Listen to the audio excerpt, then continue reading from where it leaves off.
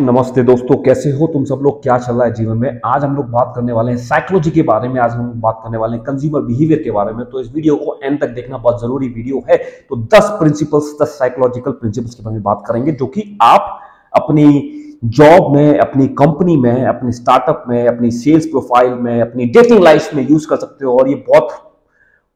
Time tested principles हैं तो ध्यान से सुनना इस वीडियो को एंड तक सुनना ज़रूर, ठीक है? तो number one is foot in the door technique मतलब क्या होता है? आपको making a small request that is likely to be granted then following up with a larger request मतलब आपने बोला, यार दोस्त से अपने, यार दोस्त मुझे पचास रुपए दे देना। उसने पचास रुपए दे दिए। उसके बाद आपने फिर से बोला अरे यार सौ रुपए दे देना। तो basically once people you ask for some favours from the people small favours then they are very less likely to refuse the bigger favors or other favors right? आपने किसी से अपने दोस्त से बोला यार आज अपनी मोटरसाइकिल उधार के लिए दे देना। बोले कि अच्छा आज के लिए दे। दे फिर आप दो दिन बाद फिर से पहुँच गए। तो जैसे it's called foot in the door technique it's very useful और इसको आप सेल्स में भी याद कर सकते हैं सेल्स में भी यूज़ कर, सकते हैं। जब आप बोलते हैं किसी को एक फ्री ट्रायल दे रहे हैं फॉर एग्ज़ाम्पल राइट देन जब वो फ्री ट्रायल लोगों ने चालू कर दिया तो ऑटोमेटिकली आप उनके सब्सक्रिप्शन या फिर बिगर सेल्स को लीड करता है।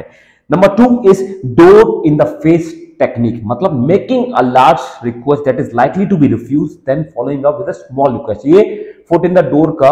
पूरा डिफरेंट है अदर वे राउंड है। पहले आप बहुत बड़ी रिक्वेस्ट करते हो, उसके बाद वो बंदा मोस्ट लाइकली आपको पता है कि ना करेगा लेकिन आप फिर स्मॉल रिक्वेस्ट करते हो। फॉर एग्ज़ाम्पल अगर आप किसी दोस्त से उधार मांगते हो यार आ, मुझे ना पचास हज़ार रुपए की रिक्वेस्ट है कैन यू हेल्प मी आप बोलोगे पचास हज़ार इतना तो मेरे पास नहीं है। तो लेकिन अच्छा अच्छा यार छोड़ पचास हज़ार छोड़ हज़ार रुपए दे दे ठीक है? तो उसको आप जनरली आप उसको दे दोगे राइट तो this is called door in the face technique अगर आप कोई नेगोशिएशन भी कर रहे हो तो आप बहुत बड़े नंबर चालू करोगे then you can bring down smaller number ठीक है? Number three is scarcity principle ये बहुत ज़रूरी है, बहुत इंटरेस्टिंग है, आपने बहुत बार ऑनलाइन वगैरह भी देखा होगा। आप जब बोलते हैं, जब आप किसी अमेजोन पे जाते हैं ओनली फाइव पीसेज रिमेनिंग और sales ending in two days और आज ही ले लो राइट तो this is called scarcity principle मतलब आप सामने वाली जनता को बोल रहे हो, भैया, जो सर्विस है प्रोडक्ट है, वो खत्म होने वाला है राइट ऑफर्स खत्म होने वाला है। लिमिटेड सीट्स राइट ये सब इसलिए बोलते हैं ताकि सामने वाले आदमी को लगे, अरे यार, ये तो बहुत ज़्यादा बिक रहा है तो हो सकता है खत्म ना हो जाए जल्दी से। या फिर sales last only till stock last right तो आप सामने वाले को बताना चाह रहे हो कि भैया लिमिटेड स्टॉक है स्कारसिटी है, और आप जल्दी से ले लो, वरना खत्म हो जाएगा। तो लोग जनरली से खरीद लेते हैं। जैसे आईफोन का रहता है limited time offer right only ten seats remaining right so this called scarcity principle number four is called anchoring effect anchoring effect is मतलब अगर आप अपना कोई निगोशिएशन में बहुत काम में आता है, ये जनरली सेल्स में बहुत काम में आता है, जब आप सामने वाले एक आदमी के साथ निगोशिएट कर रहे हो तो वो बंदा बोलेगा, यार लेट से आप कोई कोई कोई कोई कोई लैपटॉप बेच रहे हो फॉर एग्जांपल राइट तो वो आप सामने वाले बोलोगे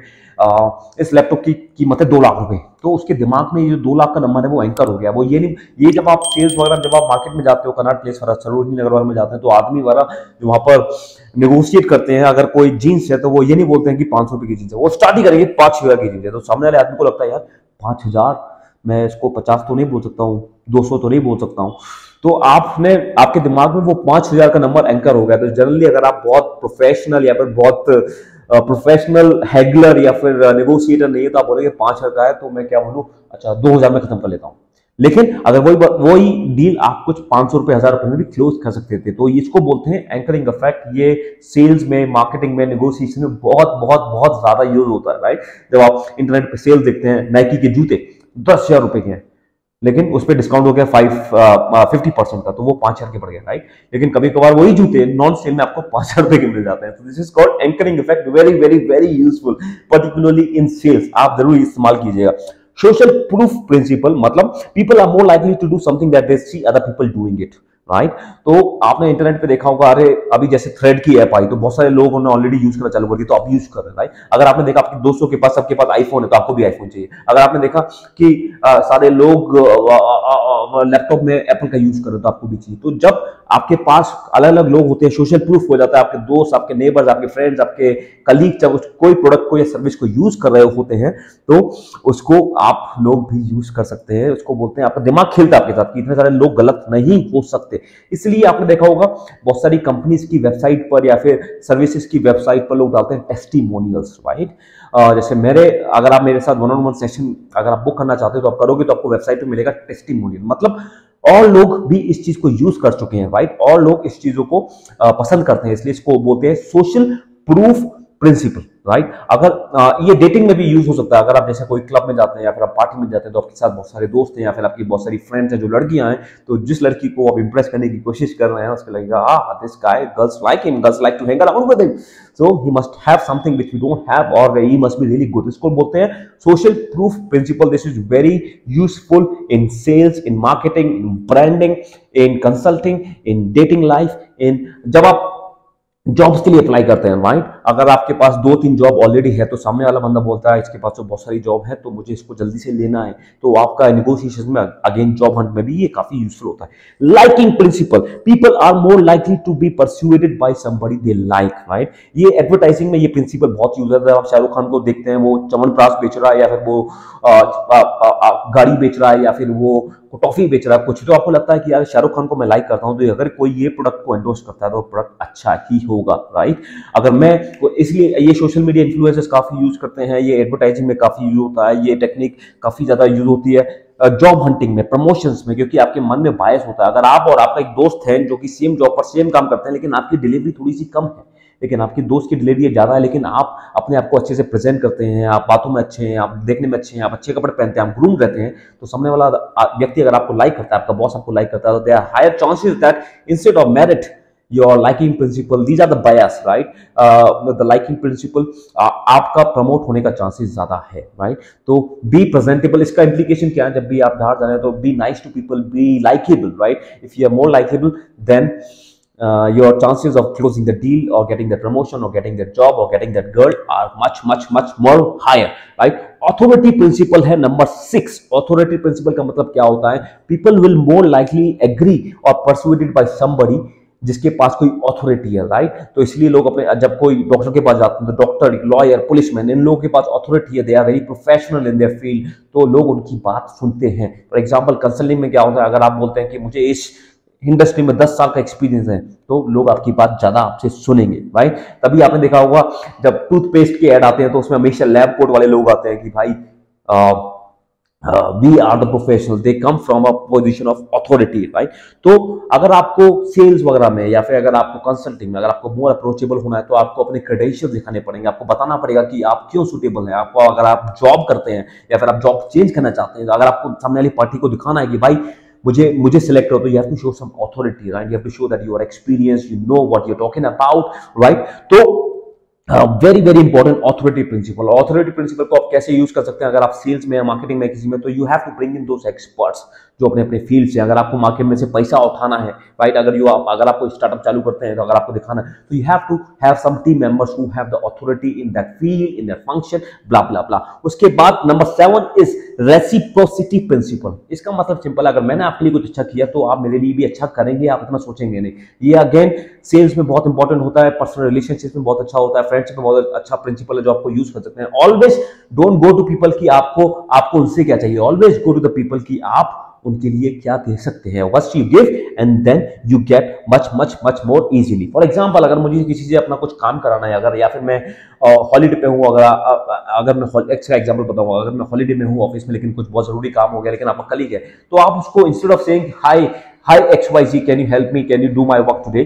instead of doing that you say that यार, मेरी तबीयत ठीक नहीं है, फिर I am out I will pick up for you next week आप मेरे लिए इस वीक में, ये एक दिन का काम कर सकते हैं क्या? तो that will be kind of reciprocity principle की मैं आपके लिए कुछ कर रहा हूँ, इसलिए आप मेरे लिए कुछ कीजिए। तो आप रिक्वेस्ट को डायरेक्ट ना करके इनडायरेक्ट कीजिए, आप फ्रेमिंग चेंज कीजिए। मतलब कि पहले आप कुछ दीजिए फिर they ask for something that the other person can help you. This is called reciprocity ठीक है? उसके बाद principle number eight is consistency principle अगर कोई लोग पब्लिक में कुछ कमेंट करते हैं या फिर पब्लिक में कमिटमेंट देते हैं कि आज मैं आपकी हेल्प करूँगा या फिर मैं आपको डोनेट करूँगा या फिर मैं आपकी सेल्स करूँगा या फिर मैं आपसे खरीदूँगा या फिर मैं आपको जॉब दे रहा हूँ तो they are more likely to follow that they are more likely to close that तो uh,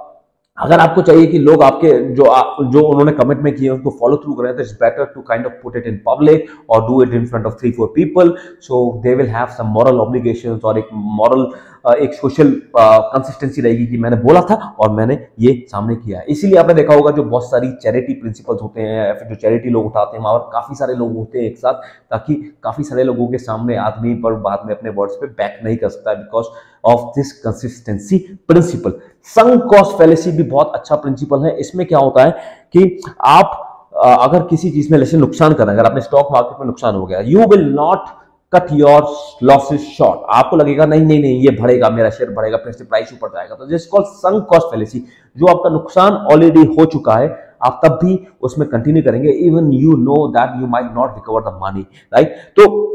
ये कंपनी में प्रोजेक्ट्स में या फिर आपके बिज़नेस में या फिर पर्सनल लाइफ में कैसे हो सकता है? फॉर एग्जांपल अगर आप कोई प्रोजेक्ट पे काम कर रहे हैं या फिर आप कोई सेल्स पे काम कर रहे हैं, कोई डील पे काम कर रहे हैं या फिर कोई नया प्रोडक्ट लॉन्च कर रहे हैं या फिर आप एग्ज़ाम्स में सब्जेक्ट की तैयारी कर रहे हैं, लेकिन आपको पता है ये ये चीज़ सक्सेसफुल नहीं होने वाली, लेकिन उसके बाद भी आप उस पर टाइम दिए जा रहे हैं, दिए जा रहे हैं, दिए जा रहे हैं। इन होपिंग कि कोई शायद मरेकल होगा hoping you can turn it around but sometimes you have to cut that loss cut that time wasted cut that sunk cost मतलब जो आपका पैसा ऑलरेडी डूब चुका है राइट तो